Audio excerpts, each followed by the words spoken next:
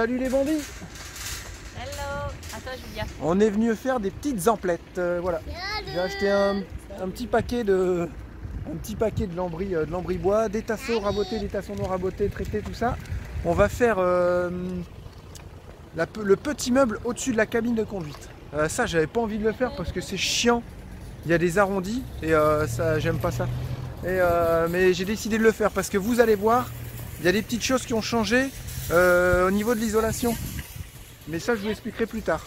Voilà, donc euh, là, on finit de ranger tout ça dans la voiture et on se retrouve au bus euh, pour tout à l'heure. Voilà, j'espère que vous avez tous passé un bon week-end et on va passer la semaine ensemble. Voilà, allez, à tout à l'heure, les bandits. Bon, là, j'en ai marre. J'en ai marre, tout simplement marre. J'avais trouvé une solution avec des petites équerres et des rivets pour venir mettre mes grands tasseaux de bois. je vais vous faire voir là. Et euh, j'avais une pince arrivée euh, de la marque euh, Rivet Pop, je crois, enfin je sais plus, vous savez la marque. Non, c'est une Stanley. J'avais une pince arrivée Stanley, elle a duré 10 mois. Voilà, elle a duré 10 mois. Donc j'en ai racheté 2-3 par la suite, pas de marque, parce que ça coûte assez cher une pince arrivée. hein. Elles ont pété aussi. Et l'autre fois j'en ai vu une à 3 euros action. Tiens, je vais essayer. Là j'ai mis au deuxième rivet, elle a commencé à péter en fait, regardez. N'achetez pas ça, c'est du caca. Regardez, je sais pas si on va voir. Voyez comment elle a tordu, normalement c'est pas tordu. Hein. Voyez? Elle a tordu sur les côtés, regardez comment elle s'est enfoncée. Le fût, il s'est enfoncé sur lui-même. Vous avez vu? Donc bah là, elle marche plus. C'est de la merde. Regardez mes rivets, la tête qu'ils ont. Voilà.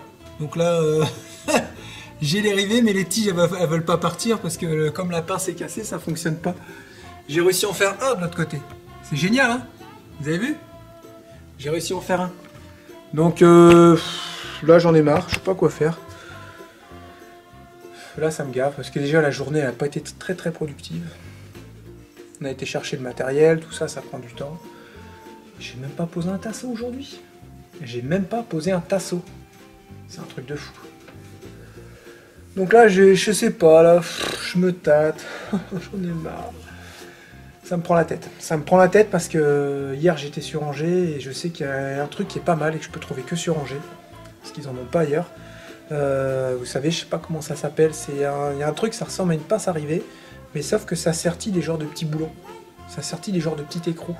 Vous faites un trou, vous sertissez ça dedans et ensuite vous venez euh, revisser un, un écrou, un boulon. Enfin, vous venez revisser un boulon dedans, quoi, vous voyez. Et, euh, et ça remplace entre guillemets un rivet, quoi. J'avais essayé ça chez un copain et c'est vachement bien. Donc qu'est-ce que je fais? Est-ce que je vais racheter une pince à rivet euh, ici à côté, pas loin? Ou est-ce que je vais acheter ce système que je vous ai dit Je pense que je vais rechercher une pince à rivet. Les rivets, ça sert toujours. Je suis dépité. Moi, je vous laisse les bandits, je vous dis à tout à l'heure. Chercher la pince et je reviens, ok? Euh, Bon, bah voilà, ça y est, j'ai racheté une rifteuse. Il y avait que ça. Il y avait que ça. euh, Une côté K. Sinon, il y avait une rapide, vous savez, la marque rapide. Mais euh, elle ressemblait vraiment à celle qu'on a achetée à Action. Dis non, j'ai vu comment elle était. Faut pas regarder que les marques aussi. hein. Vous voyez, celle-là, elle est toute pleine partout. Que l'autre a été ouverte. Donc elle s'est elle s'est tordue. Et celle-là, elle est en alliage. Donc elle pourra pas se tordre. Au pire, elle va casser. J'ai payé ça 18 euros. Sinon, il y avait, il y avait celle à, en forme de pince, mais ils en avaient plus. Puis nous, ici, euh, plus près, c'est la flèche pour les magasins de bricolage.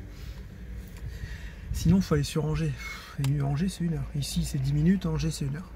Donc, c'est pas évident. Euh, quand on vient ici, au magasin de bricolage et la flèche, il n'y en a qu'un. Et euh, faut pas trop. euh, faut pas des choses trop poussées, hein, parce que sinon, ils ont pas. C'est vraiment les choses de base, on va dire. Donc, bah, je vais essayer ça. On, y retourne et puis on va voir si, ça pète. Voilà. Donc, c'est la marque. euh, c'est une K. C'est marqué changement des petits embouts sans outils. Ce qui fait que je peux changer ça sans la petite clé. On verra si c'est bien l'usage. Alors c'était marqué derrière, c'est un alliage aluminium de haute qualité. On verra. hein. Tu peux marquer ça sur le papier, je vais te dire si c'est de la merde. hein.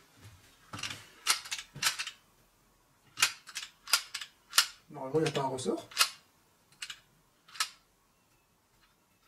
Tiens donc. Ah, me dites pas qu'elle marche pas, je vais péter un câble sinon. ah, si me fais pas ça. Je te jure, me fais pas ça. Vraiment, il y a un ça là-dedans. Ah.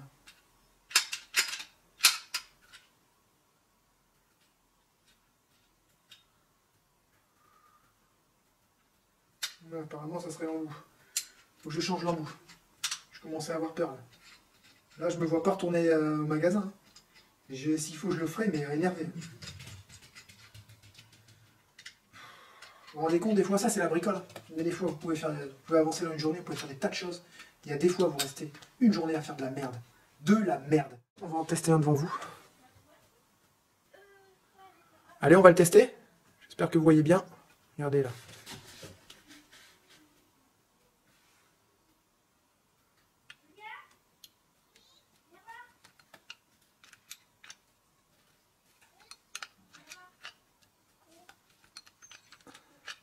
C'est là où ça force.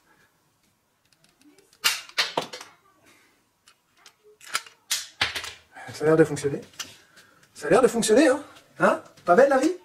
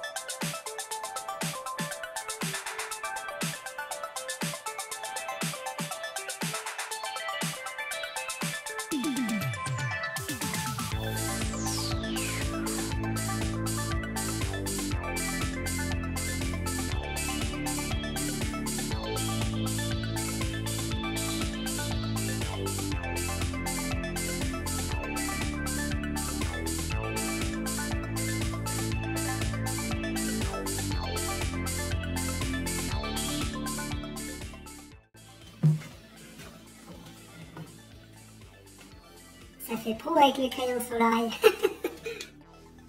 Regardez ce qu'il faut que je fasse. Voilà. C'est la planche qui va venir se glisser en dessous. Euh, et elle va venir quasiment à fleur du pare-brise. Donc je vais, je vais couper en courbe pour que ça vienne suivre le pare-brise. Et ça viendra prendre tout le bas. Et ensuite, à partir de là, je pourrai monter jusqu'en haut. Je voulais faire ça en lambris. Euh, en lambris. Et euh, comme un con faut le dire, comme un con, j'ai pris des lattes de 2 mètres. Oui. J'ai 2 mètres 20, j'ai pris des lattes de 2 mètres.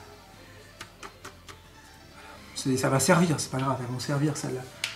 Mais euh, comme je sais même pas si ça se fait des lattes de 2 mètres 40. Donc je vais mettre du bois, vous savez le bois blanc, voilà, je vais mettre celui-là. Ça va être nickel. Et euh, je vais faire, euh, le coin, je vais pouvoir le faire en deux morceaux. Ça fera comme ça, regardez.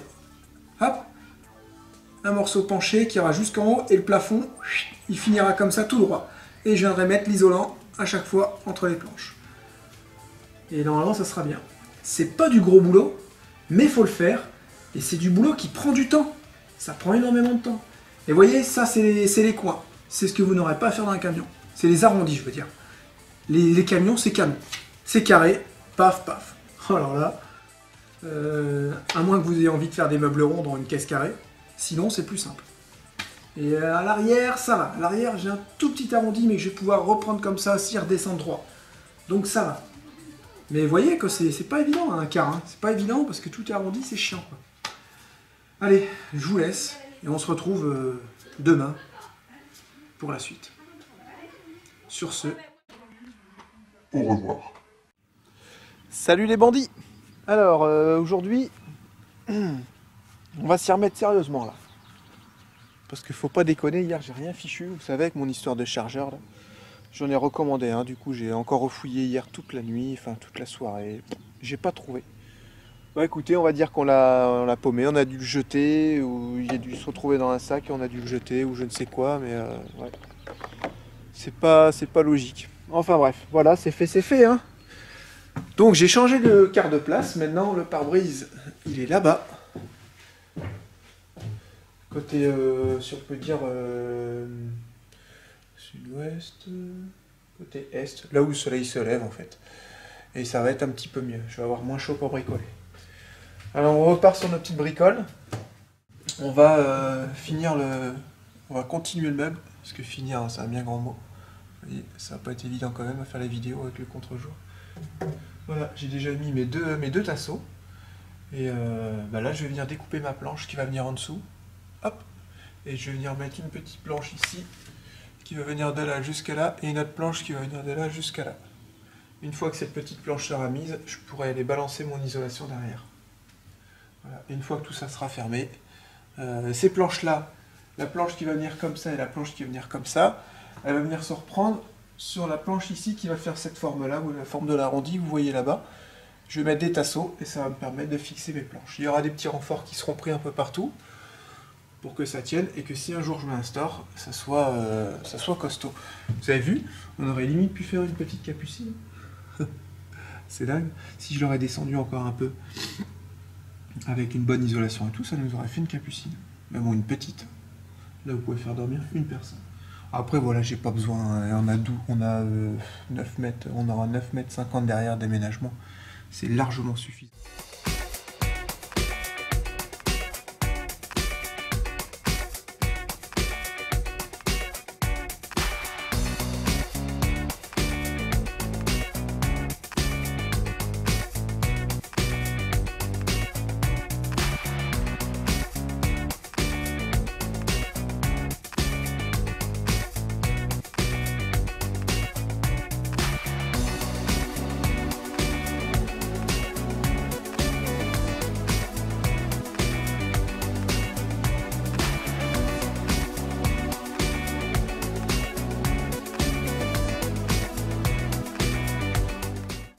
Bien voilà, on se retrouve avec le petit plan qu'il faut découper. Vous avez vu Euh, Tac, tac, tac, tac, tac. La forme du pare-brise. Ensuite, j'ai deux petits décrochements au niveau des joints du pare-brise. Mais je vais sûrement les faire tout droit. Je vraiment pas beaucoup. Je pourrais combler avec euh, de la mousse ou, euh, ou avec un joint. Et, et ensuite, ça descend carré comme ça. Donc, ça fait 2 mètres, 2 mètres 16 de large, la cabine là-haut. Donc, j'aurai un coffre qui fera 2 mètres 16 de large. Et, là, c'est 55. Et ensuite, il y aura un petit décrochement avec les coffres. Ça, ça sera la grande partie. Il y aura deux petites parties, voilà, sur les côtés. Il y a deux petits décrochements. Et là, j'ai pris toutes mes petites codes pour avoir, pour faire un beau petit, euh, un beau petit cercle, euh, une belle petite courbe pour le pare-brise. Voilà. Donc, euh, je me mets à faire tout ça. Vous avez vu, ça sert les notices. hein. ça sert pour faire les plans.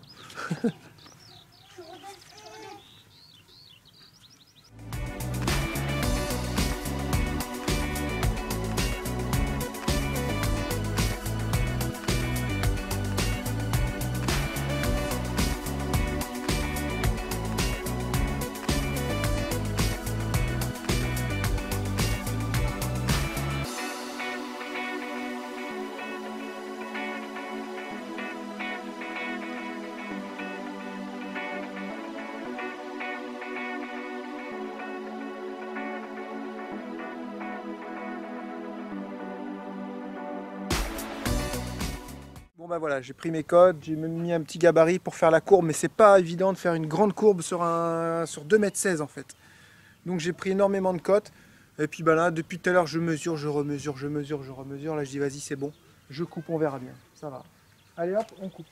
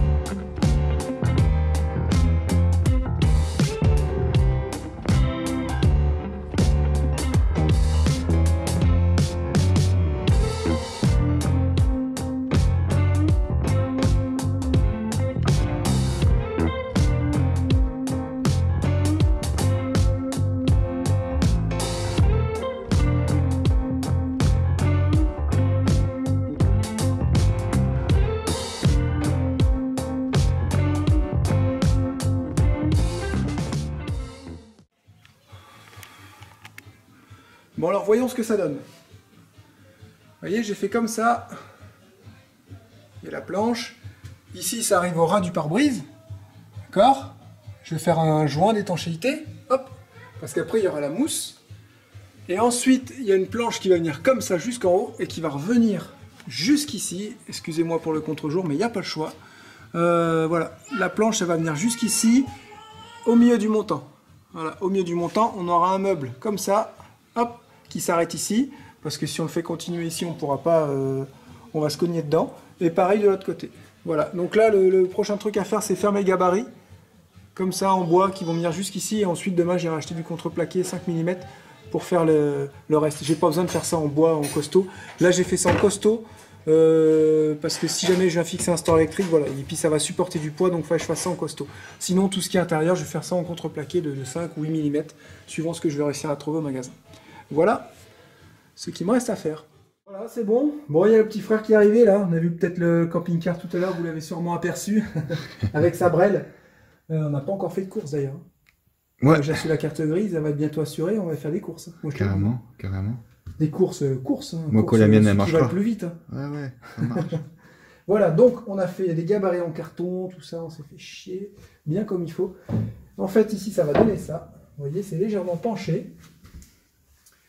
Il y aura une planche qui va venir réunir droite à gauche, une seule comme ça, qui va venir fermer, et une grande qui viendra fermer, qui fera en fait le plafond.